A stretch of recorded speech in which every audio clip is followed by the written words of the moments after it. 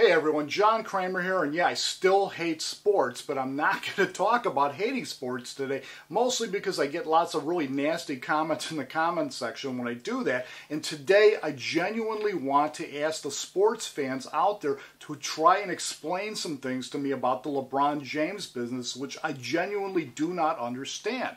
You know, and first of all, there was all this business with these videos that people were doing in Ohio, you know, begging James to stay and talking about how much they loved him and he was the greatest guy in the face of the earth, you know, and he's a local boy made good. But the moment he uh, announced that he was going to go to Miami, boom, he's public enemy number one in Ohio, and the owner of the Cavs has practically put out a hit on the guy's life. And so I'm asking, you know, you know, is there a place for loyalty in professional sports? Because you know, from my end, it looks like it means nothing.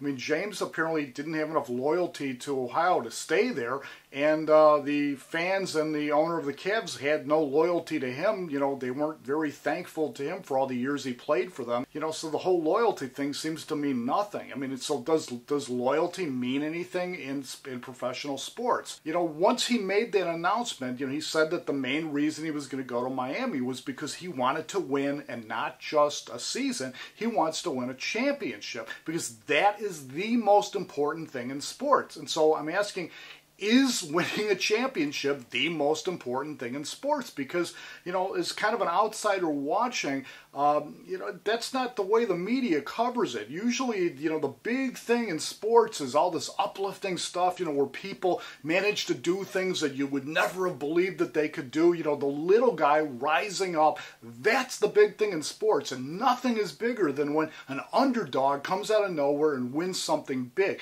No, people never get ex more excited about anything than that. So with that in mind, you know, why didn't James choose to go to, you know, an underdog team or stay with the Cavs? Because wouldn't the greatest glory in sports be to, you know, bring one of those underdog teams up and win a championship instead of going to the team, which from everything I've heard, now everyone expects them to win everything. So, you know, where's the challenge there? Where's the glory going to, you know, a powerhouse team. And then the last thing is, uh, you know, after this announcement was made, I heard from a lot of my friends from around the country, like New York and here in Chicago and such, you know, that, you know, they used to like LeBron James. They thought he was a great guy when he was with Cleveland, but now they all hate him.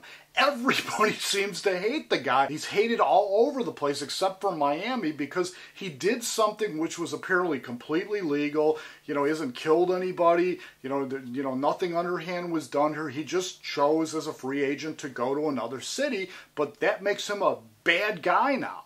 And so, you know, why is that? You know, again, I guess it goes back to this loyalty thing. You know, people kind of expect loyalty from him on the one hand, but, you know, they all understand that he wants to win a championship at all costs. So, you know, if you could share your thoughts with me about this stuff, I'd really appreciate it because this stuff is really confusing.